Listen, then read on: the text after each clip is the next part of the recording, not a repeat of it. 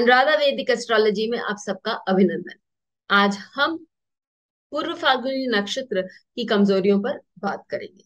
लेकिन उससे पहले आप सबका धन्यवाद कि आपने हमारे YouTube और Spotify चैनल्स को लाइक शेयर सब्सक्राइब किया और वहाँ पर अपने कमेंट्स और सुझाव लिखे। यदि आपने हमारे चैनल्स को सब्सक्राइब नहीं किया है तो ज़रूर करें और बेल आइकन याद से दबाएँ ताकि आपको अपडेट्स निरंतर मिलती रहे। पूर्व फाल्गुनी नक्षत्र एक ऐसा नक्षत्र है जो हमें धन के साथ साथ जीवन में बहुत सारी शिक्षा, कला आदि का भी योगदान देता है। तो फिर क्या इसमें कोई बुरे पॉइंट्स नहीं होंगे? ज़रूर। उसकी भी कमजोरियाँ हैं क्योंकि हर नक्षत्र में हम कमजोरियाँ देख सकते हैं।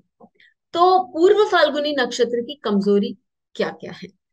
सबसे पहले यदि हम देखें तो पूर्व फाल्गुनी का जो नक्षत्र है, वहाँ सेल्फ इंडल्जेंस यानी कि मन मौजी होना, वो एक बहुत बड़ी कमज़ोरी है। पूर्व फलग्नि नक्षत्र में यदि किसी का कोई ग्रह हो तो वो व्यक्ति विशेष या फिर उस ग्रह से रिलेटेड संबंधी जो व्यक्ति है, वो व्यक्ति जो है वो बहुत मनमौजी होते हैं। वो अपने हिसाब से चलना पसंद करते हैं, अपने समय अनुसार काम करना पसंद करते हैं और अपने जीवन में दूसरों का हस्तक्षेप उन्हें एकदम भी पसंद नहीं आता।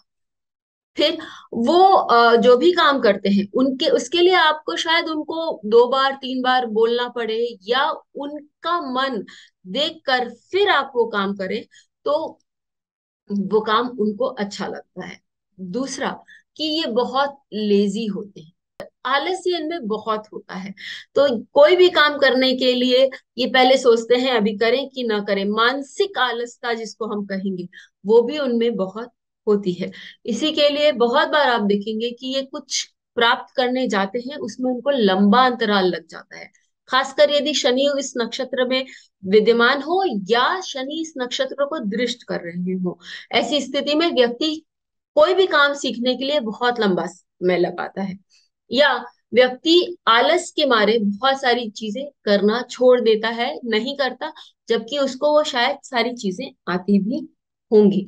यदि आपके बच्चे के चार्ट में भी शनि इस नक्षत्र में है या इसको देख रहे हैं तो आप उनको धीरे से समझा कर क्योंकि ये बिना समझे या बिना तैयार हुए ये काम नहीं करेंगे तो आप इनको समझा कर बुझा कर कि इसकी क्या फ़ायदे हैं, ये काम उनसे फिर करवा सकते हैं।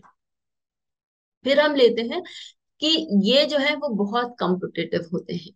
अब यहाँ यदि मंगल बैठ जाए या सूर्य बैठ जाए तो उनको हमेशा ये बना रहता है कि मैं जो भी काम करूँ, मैं उस क्षेत्र में सबसे अच्छा बनूं, क्योंकि उनको अपने जीवन में एक ऊंचाई पे पहुँचना है, जो कि ये उत्तर फाल्गुनी स्किल्स के रूप में या आपकी कलाओं के रूप में आपको देते हैं। लेकिन यदि यहाँ पर फायरी प्लैनेट्स बैठे तो वो अग्नि जो है वो आपको काम करने के लिए बाध्य करती है और आपको एम्बिशियस बनाती है।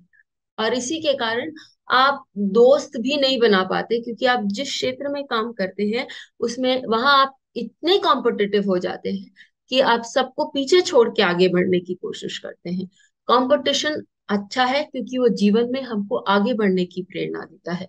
लेकिन यदि हम दूसरे हर किसी के साथ कंपटीशन करें तो शायद हम अकेले भी हो जाएँगे। इस बात का ध्यान भी हमें रखना चाहिए। Last but very important is कि इन लोगों का जो है, कहीं बाहर रिलेशनशिप होना बहुत कॉमन बात होती है। तो खासकर आप देखिए, यदि शुक्र या गुरु इस नक्षत्र में है तो वो लोग जो है, वो बाहर रिलेशनशिप रख सकते हैं। इसका एक बहुत सटीक उदाहरण जो है वो है संजय दत्त जी का।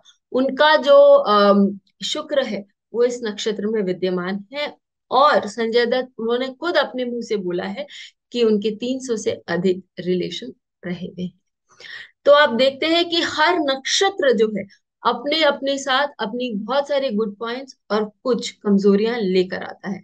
आप हमें लिखकर बताइए कि आपको अगली बार कौन से नक्षत्र की कमजोरियाँ जाननी है? फिर मिलेंगे तब तक के लिए धन्यवाद।